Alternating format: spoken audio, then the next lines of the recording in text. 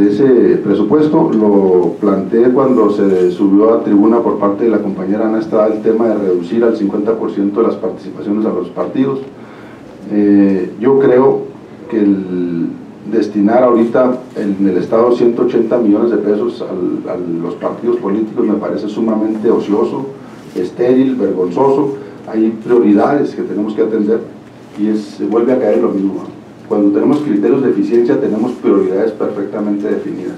Y ahorita el, principal criterio que se tiene que tomar para distribuir el dinero es cuál es el beneficio, cuál es la alternativa mejor que tenemos para emplear un solo peso. Esa es la lógica que tiene que privar en el gobierno del Estado. Y por supuesto que meterle ahorita 180 millones de pesos a los partidos es ocioso, no tiene ningún beneficio social. Los partidos políticos no han desarrollado la plataforma para que se debatan ideas, no han permitido abrir los espacios para que más personas participen, siguen cooptados, siguen manejados por, grupos que son los que deciden quién sí y quién no. Y, por qué razón habríamos de financiarles con recursos públicos el juego privado que tienen unos cuantos. Diputado, ¿cuál es su visión sobre la comunicación que ejerce el gobierno del Estado? Concretamente con Cambio 16 y, el proyecto que hay de establecer un canal de televisión?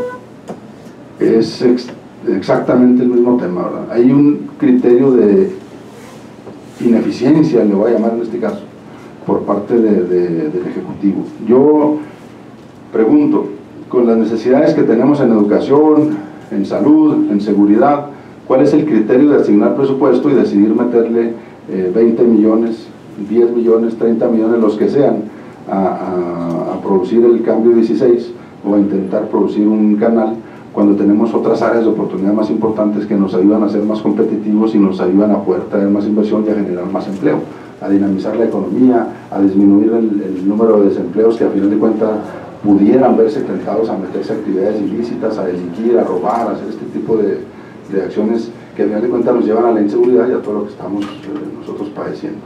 Eh, simplemente, insisto, no veo un criterio claro de eficiencia por parte del Ejecutivo a la hora de plantear estos, estas propuestas.